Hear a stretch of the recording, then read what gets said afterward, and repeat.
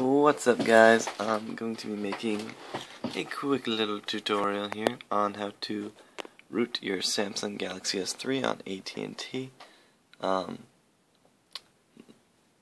pretty sure it works with some other types, I'm not entirely sure, but as you can see this one does not flip your flash counter, uh, trip your flash counter, trip your flash counter, sorry I cannot talk. But um, so basically you are good to flash anything once with Clockwork Mod Recovery on. Um, it does come up as a custom firmware, but um, other than that, it's not at all detected, and you could always just flash your um, over the firmware, and it will not pick it up as custom at all. So this is what you do. You basically, I will give you this little folder I made of everything to root it. You're going to need, and uh, you're going to need the Clockwork Mod, sorry, let me focus here, Clockwork Mod recovery uh, file to put on your external SD card, or your micro SD card. Um, you're going to need, oh yeah, you do need that for Clockwork Mod, you do need micro SD card. Uh, you'll need Odin 3.0.7 and the stock root file and if you don't already have them installed, the Samsung drivers, you can get those from the Samsung website. Uh, you could, I guess, Google Galaxy S3 drivers from Samsung, or um, I could look for a link. Um, no, no, no. Yeah, this guy didn't post one. I guess he just assumes you would have it. Uh, yeah. Okay, whatever. So anyway, what you do, no, he does have a thing right here for um, ADB install setup also. You'll need that if you don't already have that. I have that from uh, previous reading. But, so once you have that, go ahead and open up Odin, and here's your thing. Basically, once connecting your phone, you're going to turn it completely off, and we're going to put it into downloading mode. To do this, you hold down. Sorry, I'm actually using my phone. I'm not going to be doing this to my own phone because it's already been done. Um, but trust me, it works very easily. Uh, once you're here plugged in, power off, you hold down the power, volume down, and home button all at the same time for about five seconds, and then once you feel either a vibration or a little noise, some sort of notification, I forget what it is, um, you can let go of the power button. You don't have to, but Basically, I always do. Um, but continue to hold the volume down and the home button, and when the screen turns on, it should say like a big yellow things like um, press volume up to continue, like warning, downloading mode and stuff. And then once you do that, it should put you into Odin mode. It'll say in the top left like Odin mode, some other specs and stuff, and then you're good to go. Once you have that, you just go over here, click the PDA button, and click stock root 67 um, which I will include in my link folder thingamajog thing whatever. Sorry can't talk.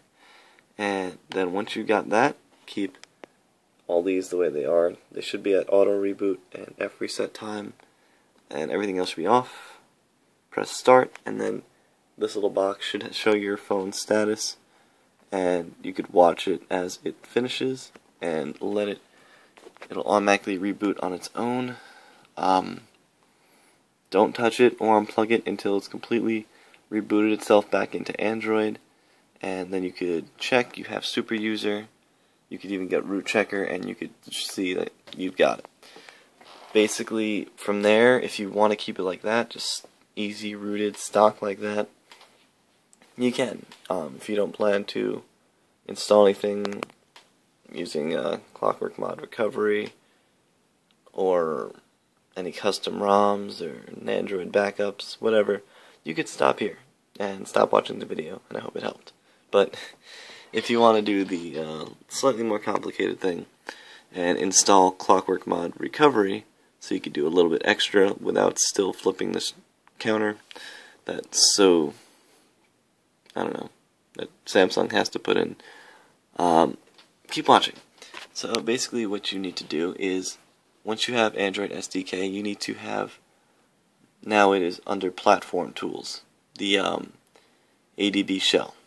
And right here, you need to put the um, Clockwork Mod recovery file right here. This one, you need to put that onto your external SD card, just right on the root of it. Um, yeah, so once that's on the root of your external micro SD card that you popped into your phone, this is what you got to do. Uh, once you get here to your platform tools, uh, basically you open up a command prompt and you can see how I navigated to it. Um, program files, x86. Sorry, let me clear that up. Android, Android SDK, platform tools. Now I'm going to press this. Bam, now I'm there. Now to open up the ADB shell, just ADB. Oh. Cool, right? Um, now I'm in the ADB, I guess thing.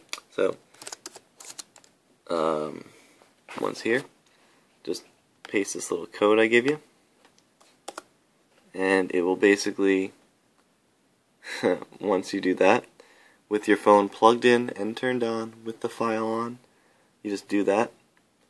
Um, press. Oh, it might ask you to put super user on. If you don't already have it, just you super user. Um, yeah, you need to be plugged in to do that. Sorry. Um, so when you're plugged in, you type in super user. Oh, this guy shows you right here. Okay. So once you're plugged in, right here, see, this is what you type in. First you type in super user. Like that. Once you put ADB, it'll have this little thing, little money symbol showing you you're in ADB mode. Then you type in super user, SU to give you pretty much root access, and then you'll get this little pound sign. Then you type in this code, which I will post in the description, and it should just do this, this, that, and then that. Then you type in reboot recovery, just like that, and it should reboot it. And once again, I wouldn't unplug it until it's completely rebooted, but it should uh, reboot it into Clockwork Mod Recovery. You don't have to do anything from here, you can just reboot, but the point is you have it. And just to check that this doesn't flip your flash, like, to, what do you call it? No, it'll say the uh, SU, the binary thing was never used, um, as opposed to a number if you did it. But, yeah, it's pretty simple, guys.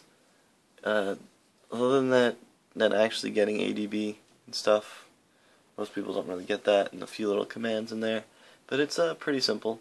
If you want just the basic root, like I said, you don't really want Clockwork Mod, you don't want to go that in depth with it, you just want to have root access to do some rooty root things, then uh, go for it. Just keep it how it is. But if you do want to have a Clockwork Mod, basically if you ever want to do things um, and not trip the counter, as far as I know, you have to flash everything through Clockwork Mod on your phone. So I would still stay away. They have um like uh I saw some tutorials where you just flash anything with Odin. Uh, don't do that because it could trip your counter if it's not like the very very stock thing like I was showing you.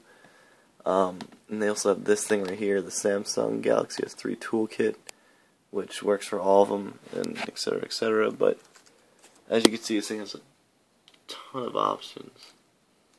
Um, but the thing is, it still uses the old technology that, well, the old method, sorry, not technology, the old method that um, trips the flash counter. Hopefully they'll fix that in future updates. I'm assuming they will.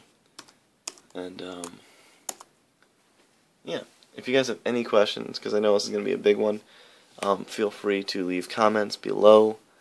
Um, like I said, this is for the AT&T one.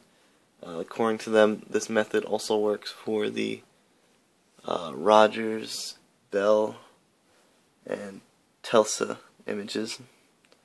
So, yeah, and um, this will keep you on the stock rooted Android TouchWiz.